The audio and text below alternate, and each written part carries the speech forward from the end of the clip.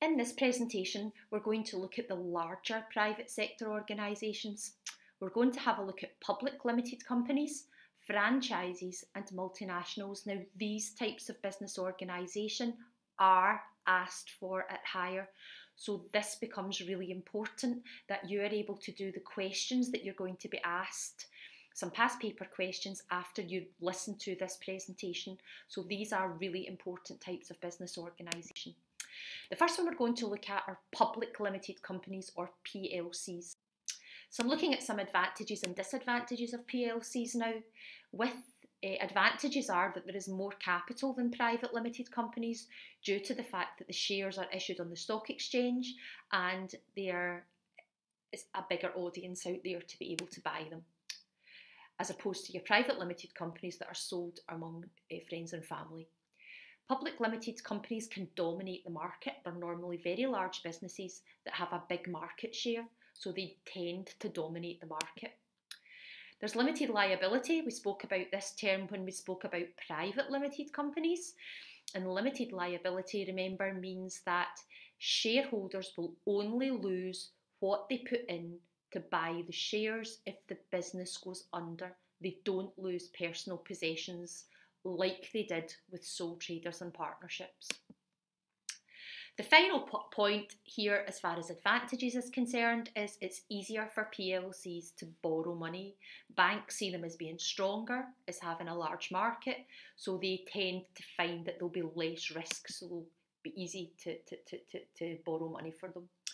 Disadvantages, however, due to the fact that they are public limited companies and they had to they have to adhere to the Companies Act, the formation is expensive through legal and admin costs. You have to publish your accounts as a public limited company, which means that your business is open to competitors to see.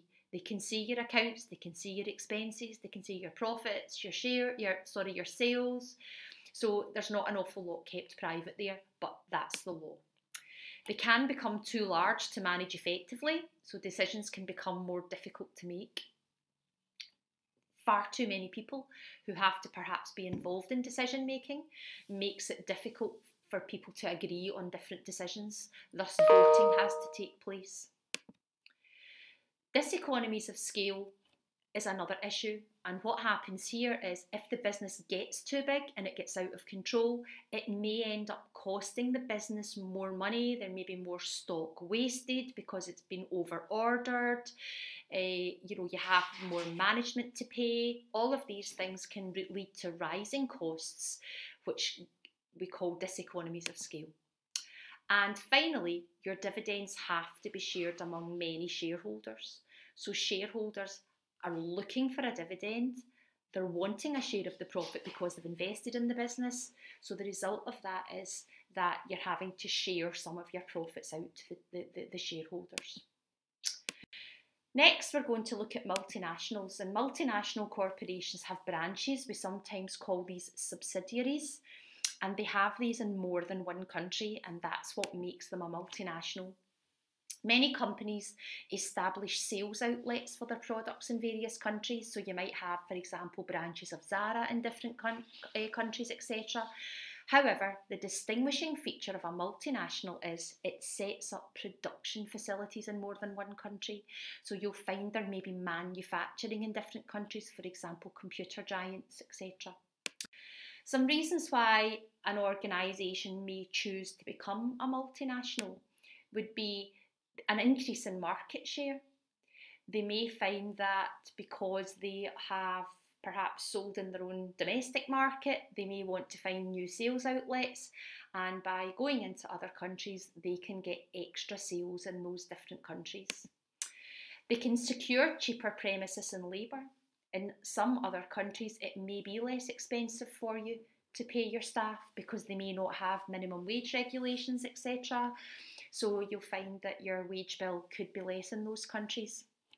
In addition, the governments of these countries may want to bring other companies in, so they may offer good deals, rent free, rate free premises for a certain period of time, so your premises could be cheaper. You can also avoid tax or trade barriers.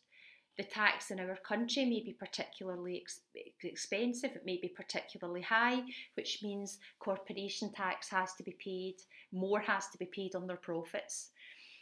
In addition, you're not then having to pay trade barriers, you're not perhaps having to pay taxes to get products into different countries, which is going to put the price up because the organisation exists in that country, in that market. So you're not going to have to pay to import products into the country. You can also take advantage of government grants in these countries, which is a bit similar to what we spoke about earlier on there with the rate free and the rent free premises. You can maybe take advantage of government grants in countries that are perhaps developing and looking for companies to come in and, and improve their economy. Some advantages and disadvantages now of multinationals. So, looking at advantages first, they provide jobs and income to these developing countries or countries where unemployment may be quite high. Uh, the, their standard of living may not be particularly high, so that's going to increase the reputation of the multinational. In addition, you can improve the level of expertise of local workers by bringing people in from the home country and teaching them more skills, which gives you a more skilled workforce generally in your country. Economies of scale, we spoke about this a few minutes ago with diseconomies of scale. By increasing your size, you can reduce your average costs, the cost per pro- unit of your product, because you're maybe able to buy in bulk, you're able to train more than one person at a time, so you're, you're spending less money overall in training, etc. You can also avoid adverse legislation in your home country. We spoke about uh, the, the minimum wage regulations, the living wage regulations, health and safety. In other countries, they may not be as particular about legislation, which means that you may be spending less money um, implementing that legislation. Disadvantages, however, you could be exploiting labour in low wage countries, which could give you a bad reputation. We sometimes call these sweatshops. The profits go back to the parent country, so the people are being paid in the host country, we call it the host country. They are being paid, but any profits go back to the home country. The power could force governments to make decisions they may not really want to make. If they decide, for example, that a piece of legislation doesn't isn't suitable for the company and they're employing a lot of people in that uh, country, then they could threaten to, to move out if the government don't change their practices. And we've got here language barriers. Obviously, in different countries, you're training people. It can be difficult to make them understand perhaps technical terms or whatever if they have this language barrier, which you have to try and get over. And finally, you've got cultural differences differences in the way people work. We have differences in religions, etc. With Ramadan, you have to take that into account. When Ramadan's there um, and people are not eating during the day, do you give them more breaks?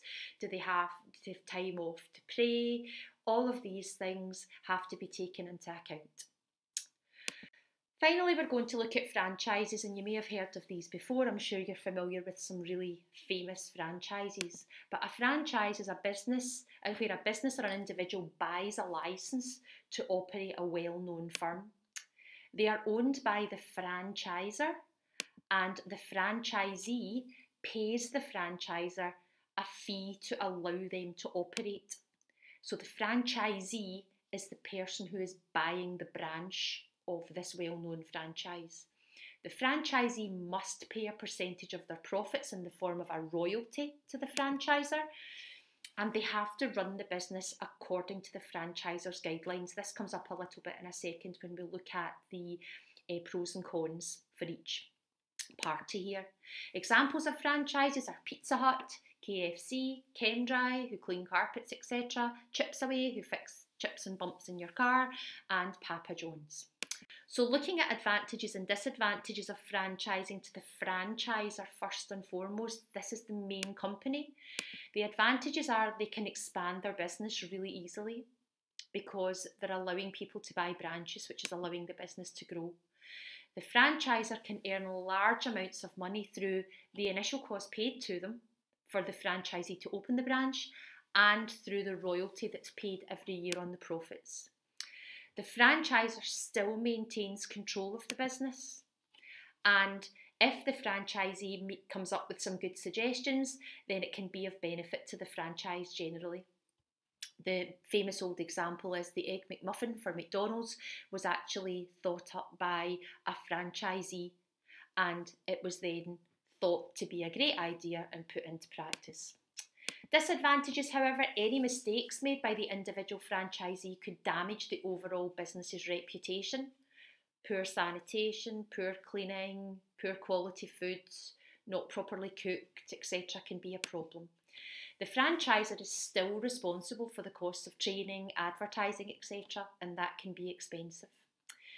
Finally, we're going to look at advantages and disadvantages of franchising to the franchisee. Now, this is the person who buys into a branch or two branches or three branches or whatever of the company. The first thing are the advantages. The franchisee benefits as the franchisor provides a lot of support, training to start the business, equipment, materials, advice, and your brand name. The franchisee is also taking over an established business which is less likely to fail. And finally, the franchisee benefits from centralised advertising so they don't have to spend any money on advertising, which can be really expensive. Disadvantages, however, the franchisee doesn't have complete freedom to run the business as they want to. They may not agree with decisions made by the franchisor, which makes implementing them pretty difficult. Um, the franchisee has to pay royalties to the franchisor, so they don't get all the profits. They have to pay a percentage of them to the franchisor every year. And finally, franchises are expensive to buy in the first instance, they're not particularly cheap. So make sure you're aware of the advantages and disadvantages to both the franchisor and the franchisee. Now, on the next slide, there are some uh, videos for you to watch to, that will give you some more insight into the different types of organisation we've spoken about today. There is uh, one for PLCs, one for multinationals, it's about Coca Cola and globalisation, and we've got two for franchises. These are all found on YouTube, and the links are on that slide.